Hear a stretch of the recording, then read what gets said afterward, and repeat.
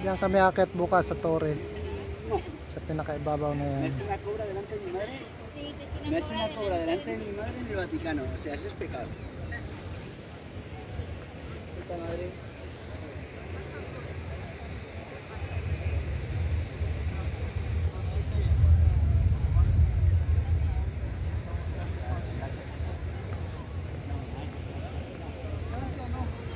Sasawa mo.